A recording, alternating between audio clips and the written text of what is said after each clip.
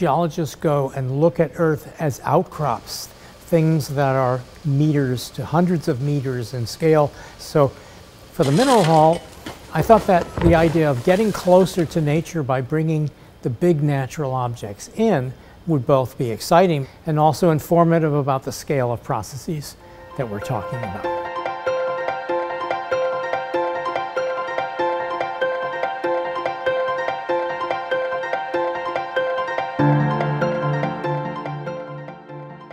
The reopening of these halls is particularly thrilling at this poignant moment in history. It's the return of a beloved treasure of the museum and of the city.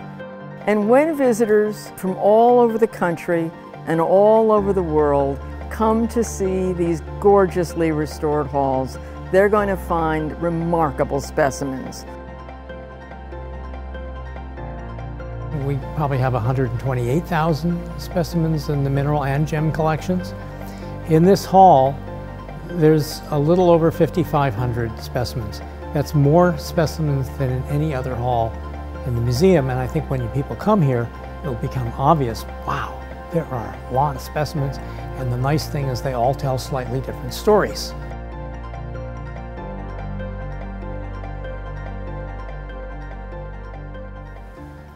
Behind me is an amethyst geode.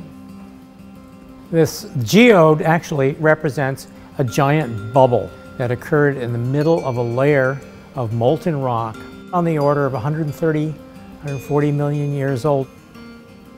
The crystals that you see inside the geode are quartz crystals, and those are amongst the first things to form, dissolved by water and then precipitated inside the cavity. In order to make quartz purple, you have to radiate it. And so that takes a long time to turn a quartz from a colorless quartz to an amethyst colored quartz, probably on the order of many millions of years.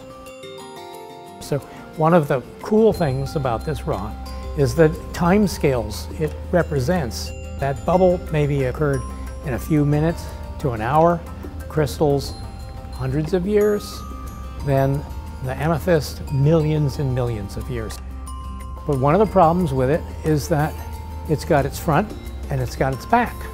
So why don't we get another geode, we put them back to back, and then you'll always be looking at the face.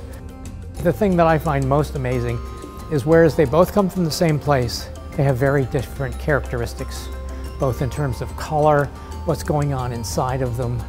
You know, they're very, very different from one another. And both signature objects for the hall.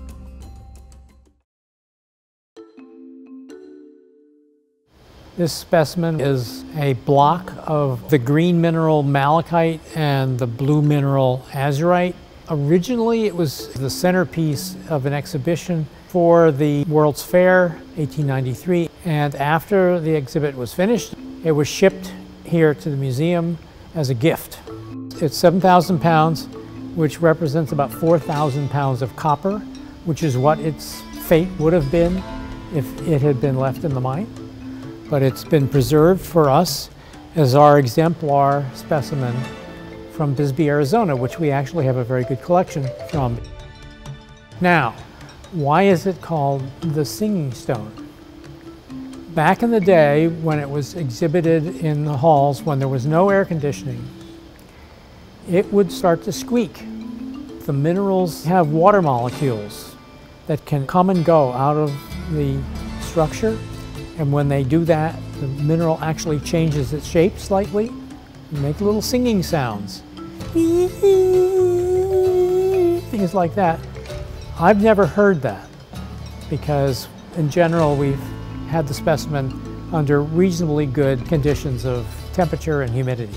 But if you raise the humidity a lot, then you'd start hearing it sing.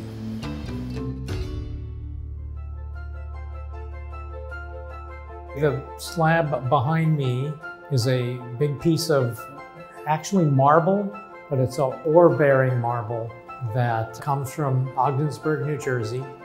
I knew that the fluorescence from this locality is famous worldwide, but specimens that give you the scale don't exist.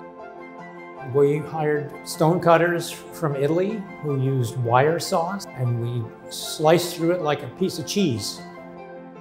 Fluorescence is the property where you shine ultraviolet light on something and the energy release is equivalent to the wavelengths of light. You can see the layers in it. Willemite, which glows green in ultraviolet light, and the calcite, which is the limestone part of it, glows a bright orange color. So this is like a layer cake. You can actually see the age through time. And so the idea was not only to have like this incredible scale of what you could see, but also the details of what the geology is there.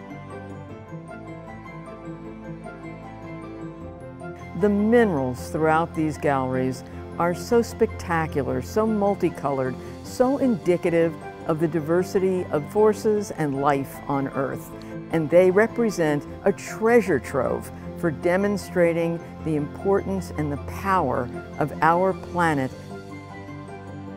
So there's something for everyone that's familiar and new, and it will be a great fun for all and a great learning experience too.